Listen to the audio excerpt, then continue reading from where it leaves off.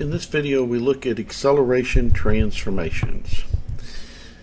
We've already seen that two observers in different reference frames may not agree on position, on velocity, and also they may not agree on acceleration. So when you're taking measurements and comparing one observer's measurements to another, you need transformation equations. The acceleration transformation equation looks exactly like what the velocity and the position transformation equation did. The acceleration of an object seen in the unprimed observer's frame looks like the acceleration of the object in the primed frame plus the acceleration of the primed observer as measured by the unprimed observer. Exactly the same sort of thing that we saw previously. I'll now do the proof, but you may want to skip this if you've already seen previously.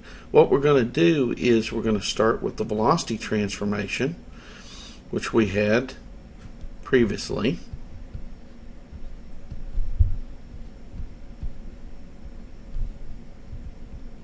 Remember, this was done previously.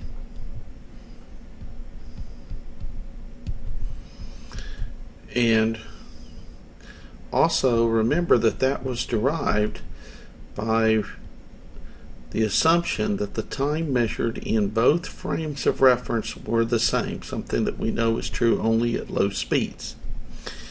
So, given that, the change in velocity as measured by the unprimed observer is equal to the change in the velocity, for instance, of an object like, say, a baseball by the primed person, plus the change in the velocity of the primed observer as measured by the unprimed.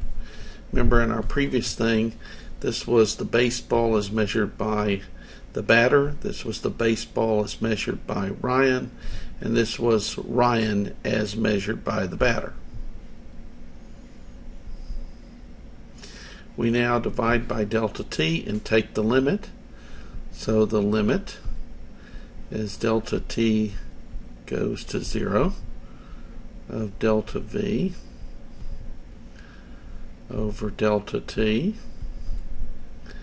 is equal to the limit of delta t goes to 0 of delta v prime over delta t plus the limit as delta t goes to 0 of the change in capital V over the change in time.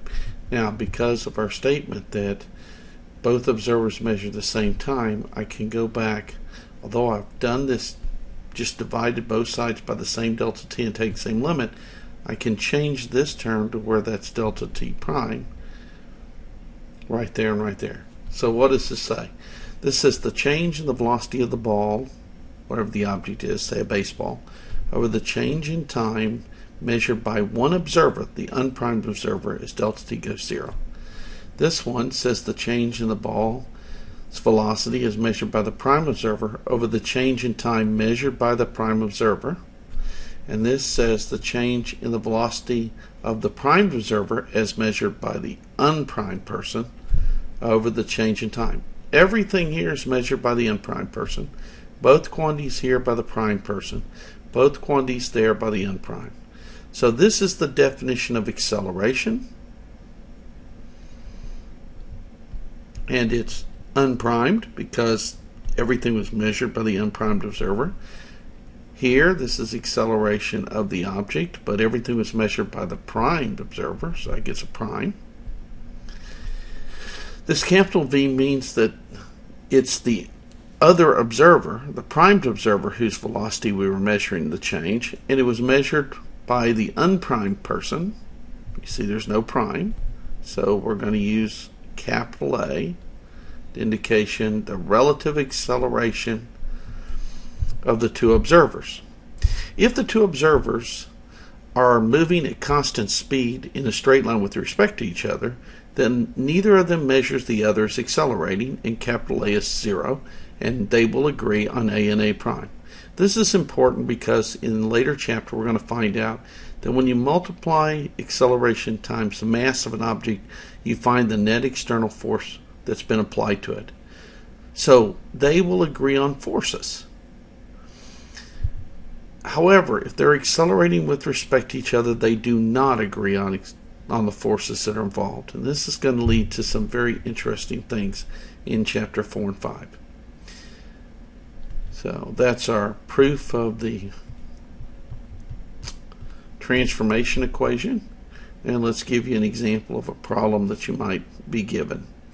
Observer number one is riding in a car. So here's a car.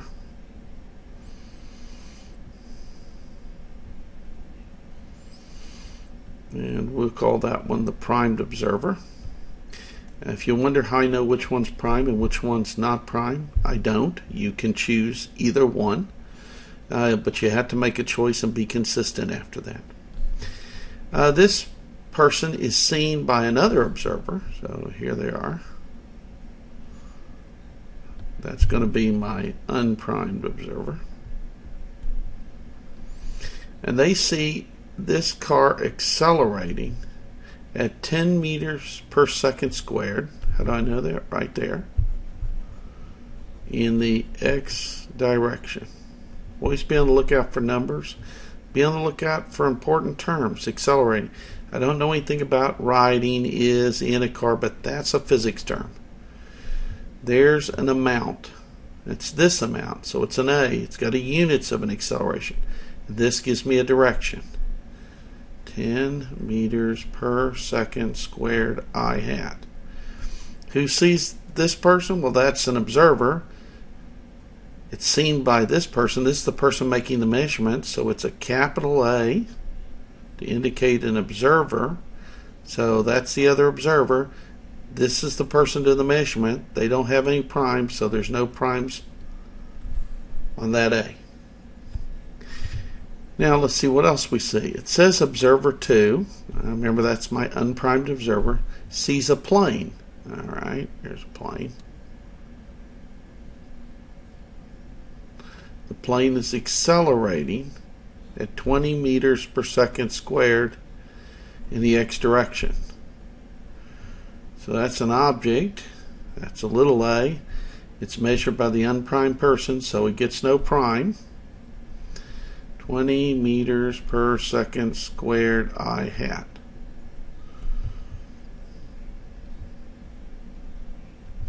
Something to note. It doesn't say the plane is flying this away. It says it's accelerating that away. So if it's going in this direction, it's picking up speed. The plane could be going in that direction, but be slowing down. The plane may be going up, but it's actually going to be making a curve because this acceleration and velocity are not the same thing. It asks me, what is the plane's acceleration as measured by observer 1? So you want to know what A prime is. Let's write our formula. There's A is A prime plus capital A. I want to find this, so I need to isolate that term.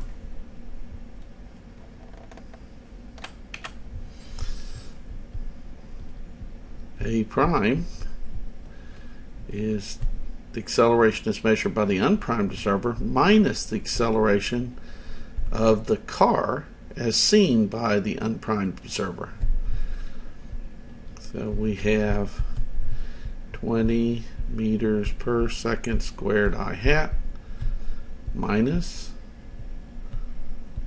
10 meters per second squared I hat. So the acceleration is 10 meters per second squared I hat.